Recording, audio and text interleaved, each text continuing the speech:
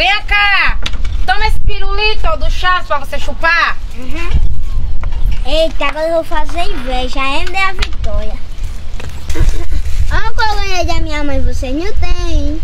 E daí? A gente tem o que a ver? Eu que tenho um pirulito também da sua cabeça você não tem. E nós com isso, ó.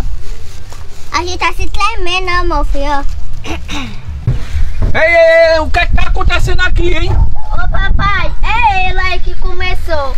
Só por causa que ele tem uma bosta de um pirulito e a gente não tem. Por isso que ele tá fazendo inveja a gente. Ei, menino, tu tá com ruim só por causa desse pirulito. Vai, vai, te dando daqui. Vai, vai, vai, vai, vai. Oxê.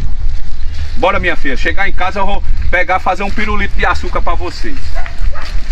Oxi, papai, desde quando que o senhor sabe fazer pirulito? Oxe, eu sei, é muito fácil. Você vai pegar, botar um açúcar dentro de uma bacia, dando aqui suco, mexer no fogo, acabou-se. E nós faz o pirulito. Vamos embora.